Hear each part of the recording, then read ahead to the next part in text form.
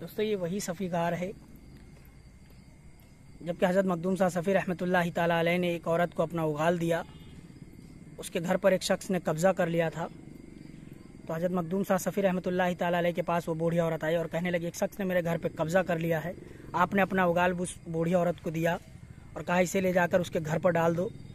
तब हज़रत शेख साद रहमत ताला जिनके पीछे ये सफ़ी गार बनी हुई है, आपका आस्ताना है और ये हज़रत शेख साद, हज़रत मखदूम शाह सफ़ी रहमत ताला के पीर मुर्शिद थे।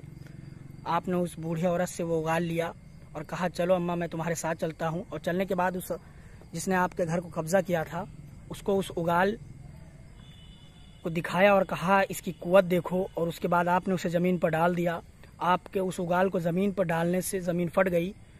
ज़मीन फट गई, उसके बाद उसे सफ़ीगार के नाम से जाना जाने लगा और उसके बाद उस, जिस शख्स ने उस बूढ़ी औरत के घर पर कब्ज़ा किया था उसे छोड़कर वो चला गया। दोस्तों, इस सफ़ीगार, जो कि एक तालाब है अब, इसकी बड़ी शिफत है। बहुत से तकलीफ़ याफ्ता लोग इसके पानी से शिफा पाते हैं। ये सफ़ीगार हज़रत मखदूम सादुद्दीन खैराबादी रहमत ताली के आस्ताने के बिल्कुल पीछे ही बना हुआ है। मैं आपको दिखा दूँ।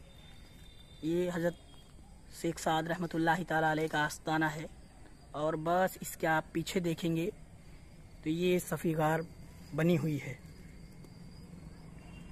देख लीजिए आप, माशाल्लाह।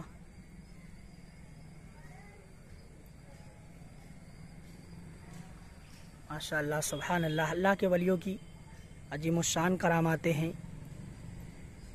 इन मैं इस पर मुकम्मल वीडियो बनाऊँगा और तफसील से आपको इस तस्करे के बारे में बताऊँगा।